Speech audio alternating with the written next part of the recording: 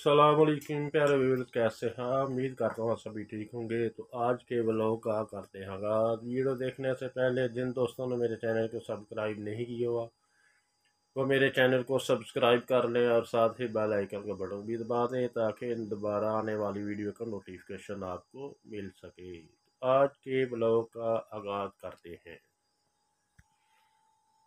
प्यारे व्यूअर्स इस वक्त मैं अलीपुर नहर के पास आपको बता रहा हूँ। यहाँ के अलीपुर के नहर में कैसी रौनकें हैं, ये बता रहा हूँ अभी।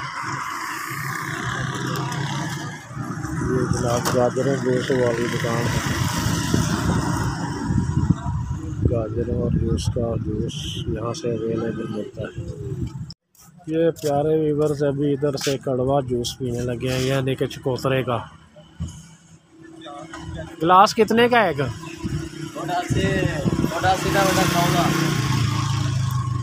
अच्छा।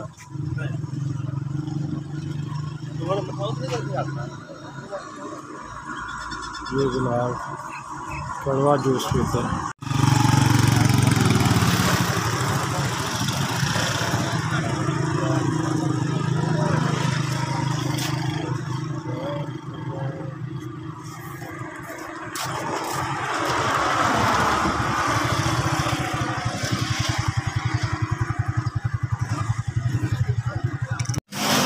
तो का इलाका है और ये नहर है और नहर के साथ ही ये रोड जाता है नौकर को।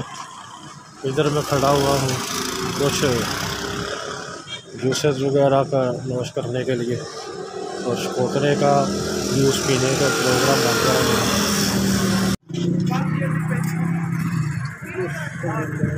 भाई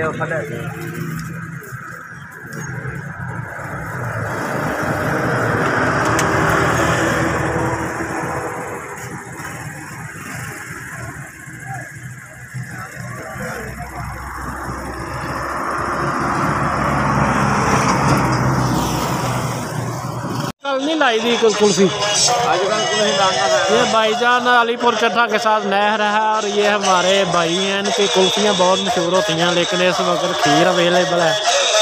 तो नकाब चढ़ाया हुआ अब आपको कैसे पता चलेगा? थोड़ा भी पता। चलेगा ये भाईजान कुल्फियों वाले हैं और आजकल कुल्फियाँ तो नहीं बहरहाल, ये जो खीर बहुत ज़बरदस्त बनाई है खोए और दूध वाली गाजरें डालकर। ठीक है।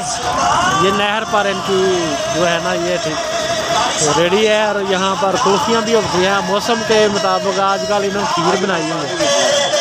आजकल खीर वगैरह ये बनाते हैं और ये पार्सल भी करते हैं और यहाँ पर लोग खाकर भी जाते हैं, ठीक है। तो आप यहाँ पर आएँ और आपने मतलब मनपसंद की खीर खाएँ। बहुत बहुत शुक्रिया।